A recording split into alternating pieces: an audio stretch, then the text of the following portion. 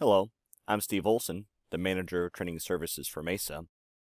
In this video, I'd like to take a look at the Autodesk Nesting utility, which is a relatively new addition into the Product Design and Manufacturing collection. So before I get into the workings of the nesting utility, I kind of want to set up the scene here real quick. So I actually was working with a customer that uh, the guy that's been doing all the drafting work in Inventor is going to now be called upon to do some CNC programming. And uh, along with that, it's going to, you know, nesting is going to be important to him because he's going to need to take, you know, several different components, bring it into one uh, layout that he would then route on a big uh, table router. Uh, at first, I wasn't sure if the nesting utility could handle wood components, but uh, I dug into it and actually it does. Initially, the software was for just sheet metal components, but then they've made some updates. So now it will also handle standard inventor parts and also parts that are just a sketch. Uh, however, along with all this, there's a few things that are a little bit different. Uh, you know, when you're working with a sheet metal component, it has material and thicknesses defined in it. When I work with a wooden component, I don't necessarily define that material thickness as um, as as a property or as a parameter and kind of go from there. So with that in mind, there's a few things that we need to be aware of in the nesting utility. Lots of times it handles this automatically, but I want you to understand what it uh, uh what what settings are here just in case they're not working for you properly. What I want to do is I want to open up this one component and show you what's going on in here. So for me, uh, one of the things that kind of was a difficulty right away with this is I would typically model this as one big rectangle and then do two different cutouts. The nesting utility only recognizes one feature. So I had to kind of change my thought process here to make this all one extrusion. Also, again, because the material thickness isn't necessarily defined, I need to make sure it was kind of figured out. And the first time I tried this, it didn't quite get it. I kind of had to monkey around with it a little bit to get it to set up right. But after kind of working with it, a couple things that I can point out to you to kind of have the benefit of the struggles I had is if I come into this one component and I right click, I do have this nest authoring. You can see here that it's going to kind of figure out the thickness. Uh, from this, I can set that to a parameter. Uh, it kind of figured this out. Also, if I come to this extrusion one here, I can right click and say use for nesting. This is a checkbox that if I have multiple features here, I can't set the, like if I turn it on for something else, I'm going to turn it off for something, uh, for whatever had it previously. So just be aware of that. You know, your mindset might need to change a little bit for things that are going to get nested because you need to have one feature. Also, it doesn't really like construction geometry. Um, I got a lot of errors about open loops and stuff, and after digging into it for a while, I realized that construction lines kind of got they kind of don't get understood as construction lines. They get kind of treated as regular geometry, and it might kind of throw some errors about open loops. So that's another thing you need to be aware of.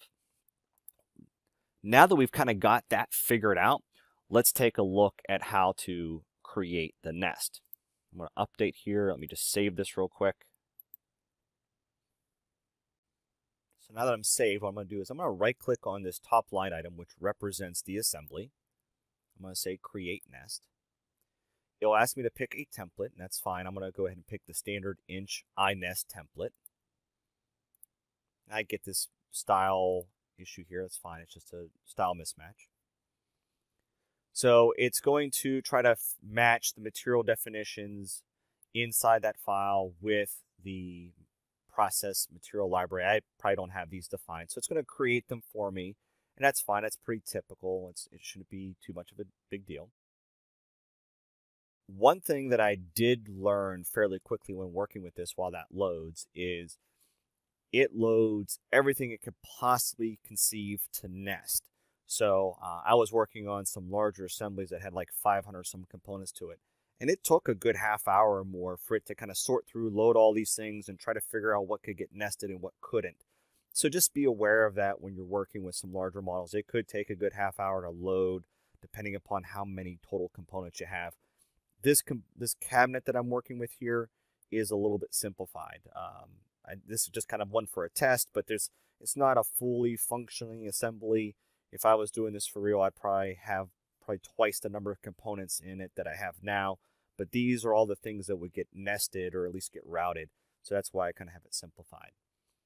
Now, one thing I do want to show you here is there might be something that I don't need nested that it picked up. For example, here I've got the front, the side, the shelf, a door, and a top. Let's say we buy that door so there's no need to route it. So I'm going to right click on this. I'm going to tell it to delete that. And now it's not going to be part of any of the nesting here. I'll say OK. It'll then load all these model representations into my design here, ready for me to nest these. Now, one thing to bear in mind is these first three are the sides, uh, the front, the side, and the shelf, which is all 3 8 MDF. The top is like a, a 3 quarter inch, so they're going to go into different materials. So at this point, I'm going to go ahead and hit create. It's going to show me here the name of the study, how many do I need, um, kind of going on down through here. Uh, show me the two different packages, and I'll go ahead and say OK, and it will create those.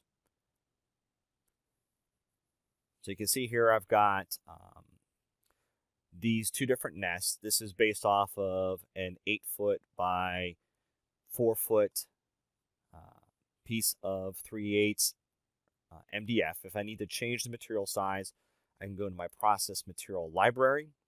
I can go to whichever package that is, that is um, material ID 2. And if I come down to the packaging, I can change these sizes. Let's go with maybe something like 50. Uh, that might be a little bit easier to work with. And then I'll have to have this update.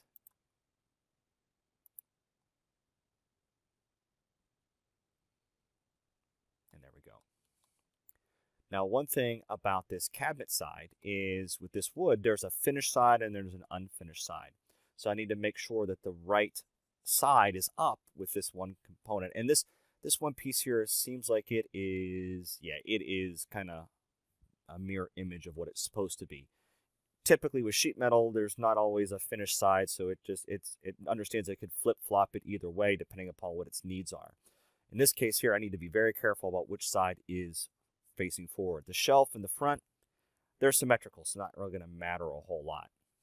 But this one here, I do want to make sure that it is flipped the right way.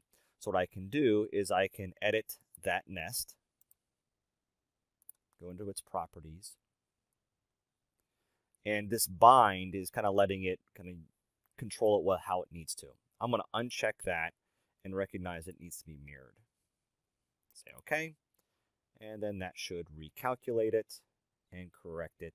And now that's laying the right direction. You can see it's even moved around trying to match up those long edges so that way the router um, can work with it a little bit easier. One other setting I should have mentioned while I was in there, let me go back to this one, is when I'm working with this component, I'm going to then put this on a router table and route it. I'm going to do that in HSM here in just a minute.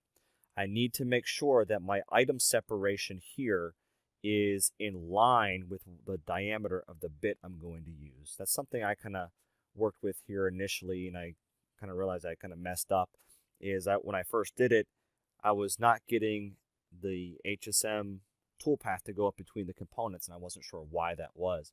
And after a little bit of investigation, I realized that the item separation between those components was smaller than the bit diameter. So the software was like, I can't go up through there because I'm going to end up cutting away things that aren't supposed to be cut.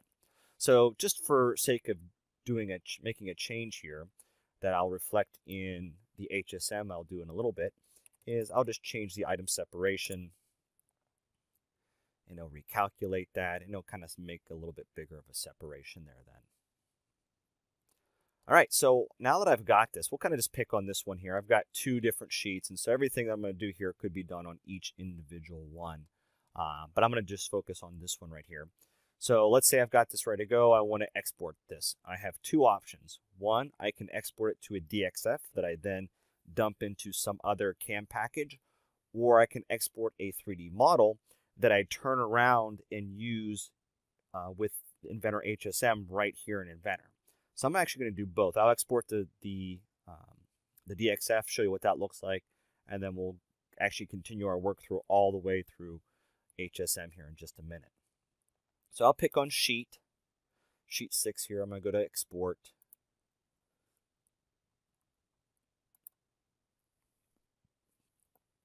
It'll ask me where I want to save it. I'll just kind of save it where all the other files are.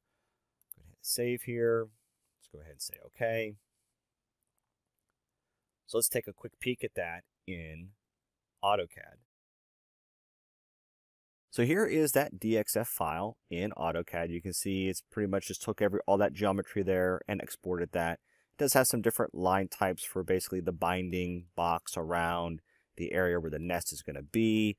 Also all the lines. It's also got the components numbered and it's got them named down here. I kind of gave the file names more of a descriptive name as opposed to a part number and that's why I'm seeing the naming here being more descriptive because it's just the, the file name uh, or the part number.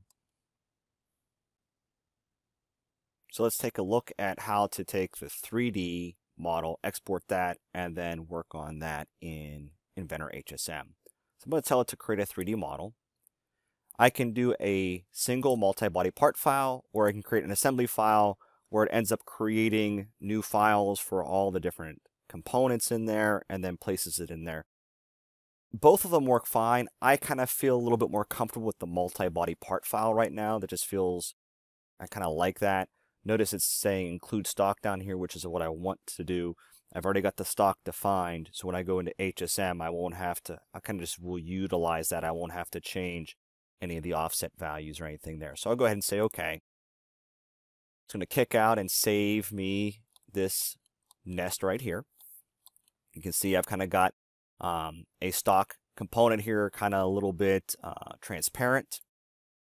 So what I'm going to do here is I'm going to go ahead and create my design here, or my, my toolpath. So I'm going to go to my CAM environment. I'm going to go to my setup. So what I want to do is I want to kind of say, well, this corner here is my origin. So I'm going to clear my stock point and go back into my selector and grab that corner there as my origin. On the stock, this is something I want to make sure I change. It's kind of already seeing the stock that was defined by the nesting utility. So here, I don't want to offset it additionally on top of that. So I'm just going to zero out all of these here. So that's pretty good there. I'll go ahead and say OK. So now I'm going to go ahead and tell it I want to create 2D contours. I'll disable the flood or the coolant. I'll go to my tool. Let's say I want to pick by type. I'll just pick a, a flat mill. And since I use 3 eighths, I could pick a 3 eighths bit. If I have one here, let's see, there's a half inch, 3 8. Go ahead and pick a 3 eighths. For my contour selection, I'll pick these contours. So there's all those edges. This should be pretty much all I need to worry about, at least in this very simplistic version.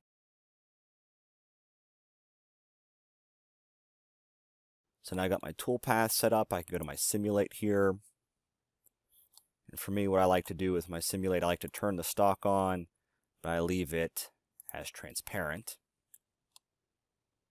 I'll go ahead and play this and see what it looks like.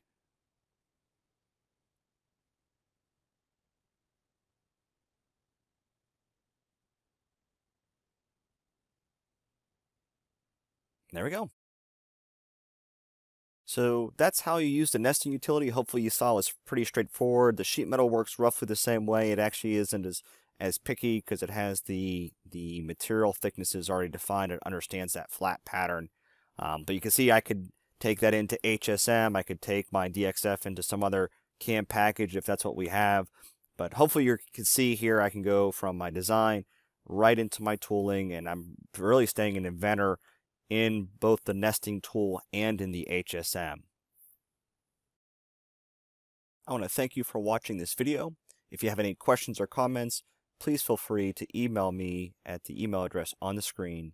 And again, thank you for watching.